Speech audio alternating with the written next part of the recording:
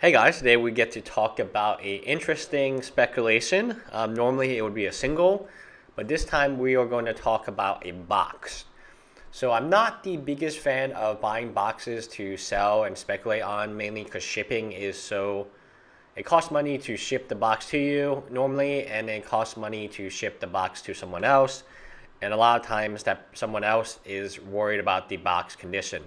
So, for instance, if you were going to ship a box of Innistrad, original Innistrad, yeah, you made some money, but you have to make sure you package it well. You have to uh, make sure that the peanuts in it. I mean, the box condition for a lot of people who would buy a box at 200 300 400 500 $600, uh, the condition would have to be very high.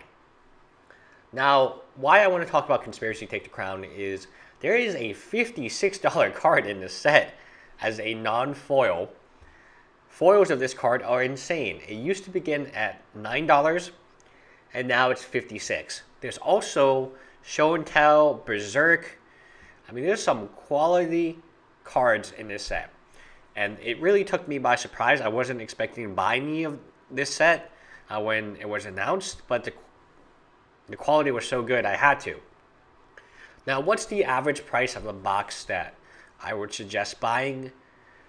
So Dave & Adam's, you get free shipping, as you can see, or actually it's not free shipping anymore. Oh, it is.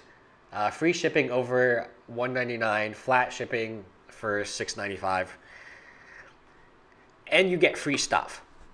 So Dave & Adam's, I've got playmats, sleeves, autographs, photos, even like a jersey once, I feel like. So you get free stuff and they ship it to you for no cost meaning the there are stores around you locally that should be able to sell these boxes for you at $65. Uh, that's what I found out is stores right now because Aether Revolt they need the new hottest set. They can't sit on old inventory. It's like any business. If you have old inventory and it's not selling, you need to get rid of that old inventory to free up cash flow to buy new inventory. So these boxes are selling locally around me for $65 in cash if you buy six or more. Now on eBay, they're selling anywhere between $80 buy it now and $64 or $75.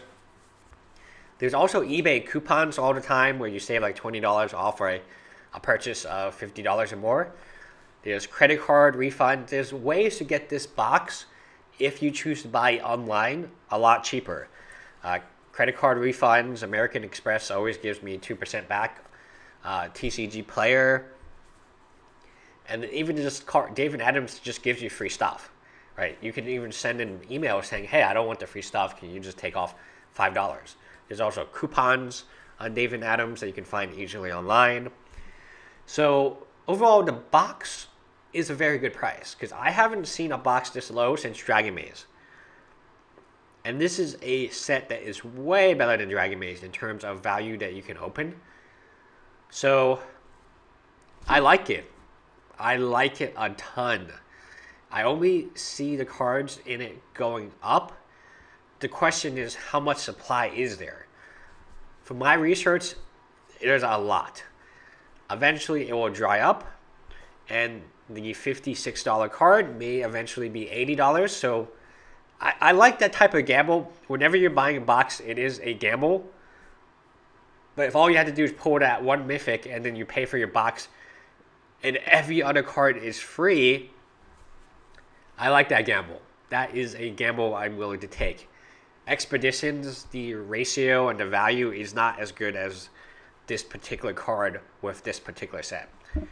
Anyway, leave me a comment below if you think I'm right, you think I'm wrong, and what is the lowest price you can get a box for. Anyway, bye guys.